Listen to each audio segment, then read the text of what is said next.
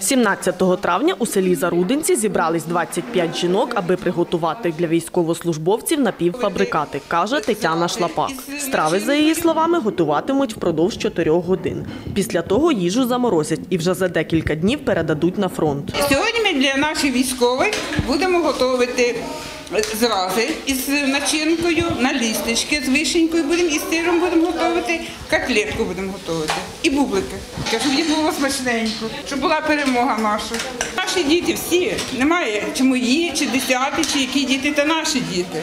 Їжу для військових жінки вперше почали готувати у 2014 році. Від початку повномасштабного вторгнення російських військ вирішили зібратись знову. Частину продуктів для страв волонтеркам приносять місцеві жителі. Частину надають підприємці з Дружинської громади.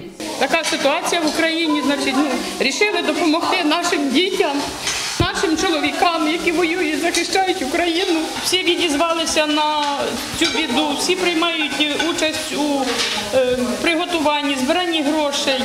Е, зараз теж на даний час ми збираємо гроші, щоб зробити тушонки нашим хлопцям, тому що така е, погода не, ну, не дозволяє вже передавати. Робили котлети, робили голубці, колбасу домашню.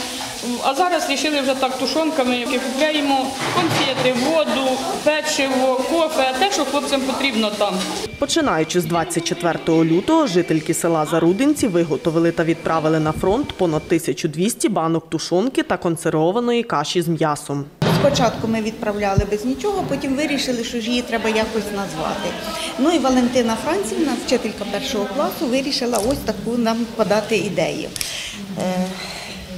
На кожну баночку етикеточку і написати наказ, щоб кожен із солдатів повернувся додому живим і особисто здав баночку.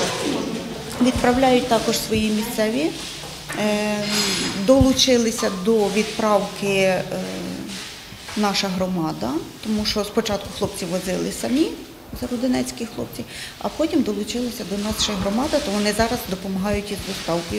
Їжу на передову доправляють військові та волонтери. Аліна Домровська, Тетяна Беляк. Новини на Суспільному.